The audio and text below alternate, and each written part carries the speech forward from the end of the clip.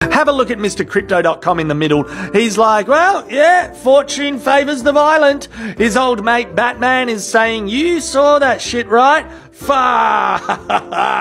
And then over here is Meryl Streep. Yeah, Streepy. She's in complete shock. She was not expecting to see the UFC tonight. And just above her is old mate Jono. He's definitely trying to figure out if this is staged or real. I know because I've seen that face before when he looked at my mullet. He's trying to figure out what's going on. Bloody Mel Gibson. He's like, have I ever even done that before? I don't think even I've done that before. I've done a lot of dodgy shit, but never punched a peer on stage. I don't